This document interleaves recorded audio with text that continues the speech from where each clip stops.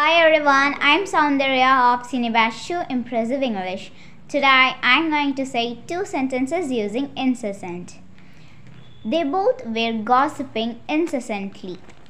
She was scrolling her mobile incessantly in the app YouTube. Thank you.